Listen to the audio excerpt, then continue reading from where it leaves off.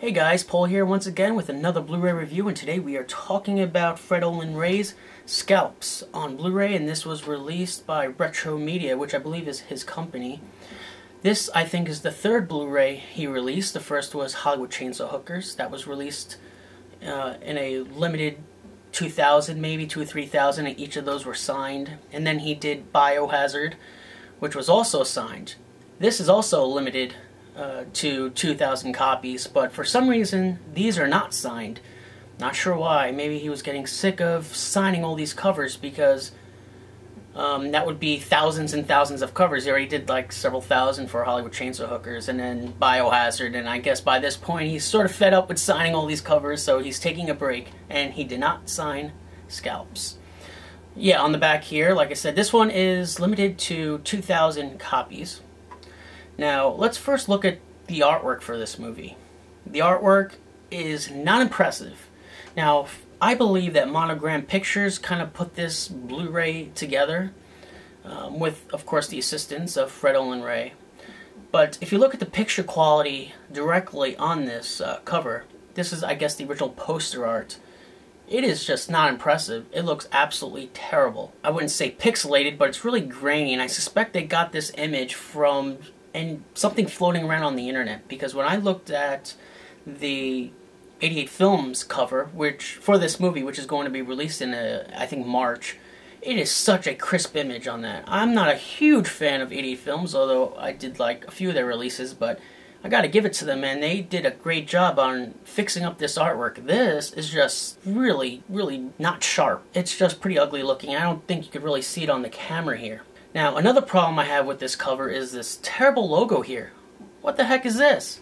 Now, Scalps does have a logo married to the movie. By that I mean it has a logo in the title card. This is the same logo that is on the 88 Films release. It's the same logo that I believe is also on the Continental VHS release and a few other VHS releases.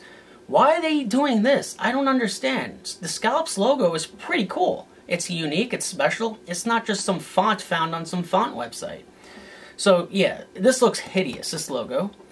Um, and then you get a different font on the spine here. It's a different font, looks similar, but it's different. And then you got a different font on the inside cover there. Like, I don't understand. What was wrong with the original logo? So let's look at the features here. Let's see what it says on the back. This is a 2K scan from the 35mm negative with the censored scenes restored via tape sources. So that's good that they put that on there so they're not trying to cover anything up. You know, you don't want some somebody to buy this and they're looking at the best scenes in the movie, which of course are the, the graphic scenes, and they're all grainy or they just look terrible.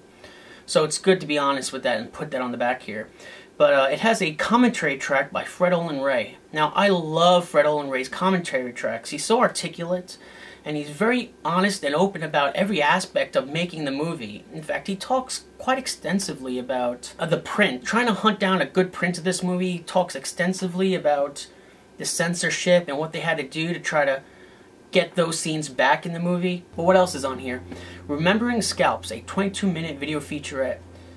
Uh, I guess that's interesting, but there's nothing on there that really isn't spoken about in depth on the commentary track. I guess it's cool to just see these people, how they look today as they're talking about the movie. But otherwise, most of the information that you want to know about this movie is probably in that commentary track. It's very dense and Fred is always talking.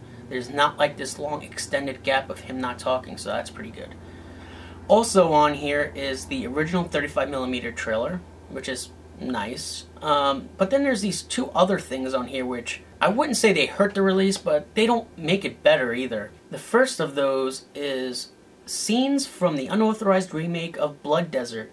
Now that movie, if I remember correctly, was made by some Canadian guy who moved to this other country and he was a big fan of scalps, I guess, and he made, uh, as Wikipedia describes it, a protest film. But uh, it is very eerily similar to Scalps. That movie you cannot find anywhere. Probably because it is an unauthorized remake. I can't find any information about that, but there is a scene on here. This says scenes, scenes, plural, uh, from the unauthorized remake, but you're only getting one two-minute scene. So it's very brief and very short, and it really doesn't give an overall impression of that remake. If there was a trailer for this remake, that would have been much better. I guess they didn't have that. In the commentary, Fred actually says that he contacted the director of that movie for the scene to put on here. So um, maybe there wasn't a trailer. I'm sure if there was a trailer for that, I rather he would have put that on here. I'd much rather have seen that. And then there's this last feature on here. Scalps 2, The Return of DJ, a fan film. Now, at the very end of Scalps, after the credits, the actual original movie, there actually is like a little tease, or an inside joke, I guess. It says, Coming soon, Scalps 2, The Return of DJ. So I guess at some point, probably back in the early 2000s, some fans came together and they actually made a little short amateur film. Now, it's in terrible picture quality. It's really just a bunch of kids running around with a camera. It's just, I don't want to come down too hard on a bunch of amateur kids making a movie, but it's really rough to watch. I think it was maybe 20 minutes long. Like I said, it doesn't hurt the release that it's on here, but it really doesn't add anything to it either, so. But yeah, those are the features. Now, another issue that I have with the, I guess, packaging of this is the DVD menu or the Blu-ray menu, the authoring process.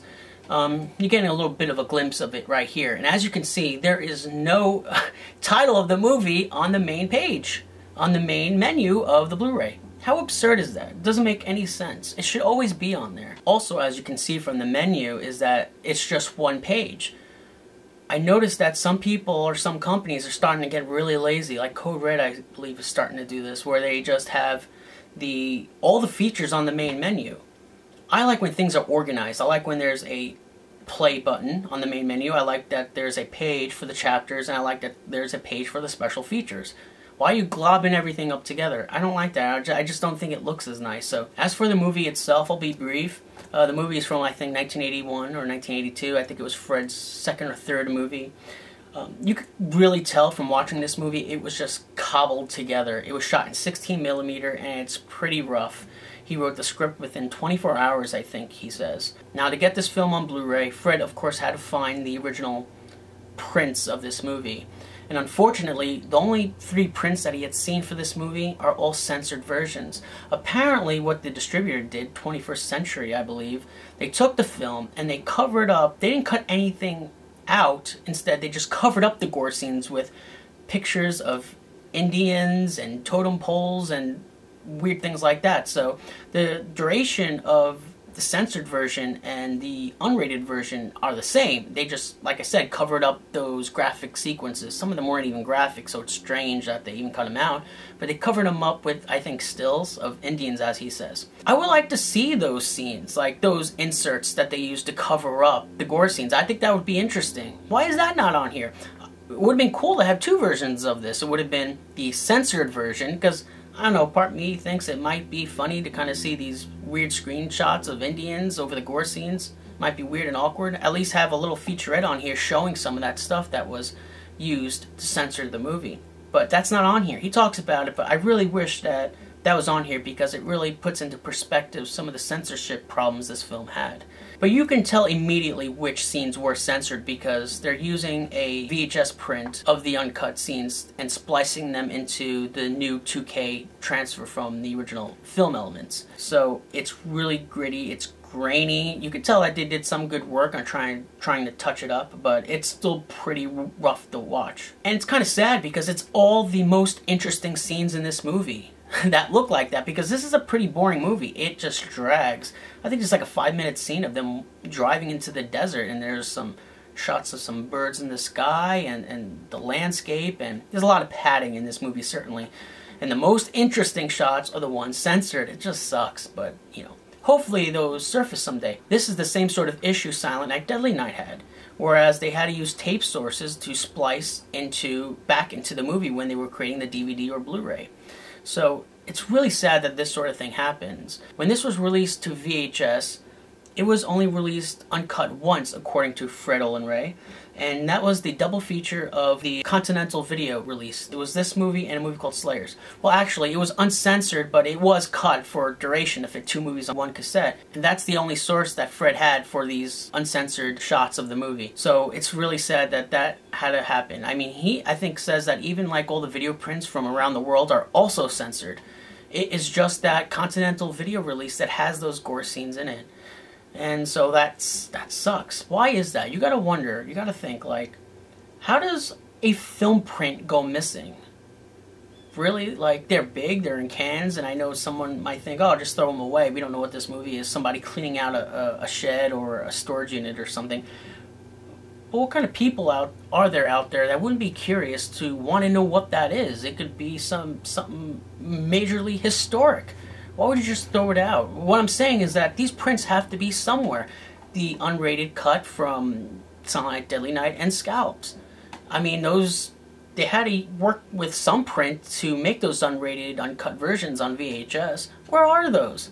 They gotta be somewhere. And this is the problem with today, or maybe the past 20 years, is that people just they just don't think they just get rid of stuff. But it's just a travesty and i really hope that someday that those elements appear. But a lot of these distributors were very shady. They all went bankrupt and who the hell knows what happened to those. With all that said i would still recommend scalps on blu-ray. It's the best this film's ever going to look right now unless these elements appear. So even just for the commentary track alone it's worth it. So you're not getting great packaging great menu design certainly not but that commentary track is great, and it is going to be the best print of the movie that you're going to find, unless the 88 Films one does some additional work to it. I don't know. But uh, this one, according to what I read online, is still going to have a few more features than that 88 Films one. It has the commentary track, but it's not going to have Remembering Scalps, unless they add it later. Right now, it doesn't say that it includes it, so... So yeah, pick it up. If you're into slasher films, and there's some of that in here, although they're all gritty and, and from terrible sources, I would still say get it. it. Has a lot of interesting stuff in the commentary, like I said, but uh, it's going to be, if you're into this movie, this is going to be the best version you're probably going to get, so, at least for now, until those prints are found, so. This has been Paul with VHSCollector.com. Keep a lookout for my other reviews, and I will see you guys next time.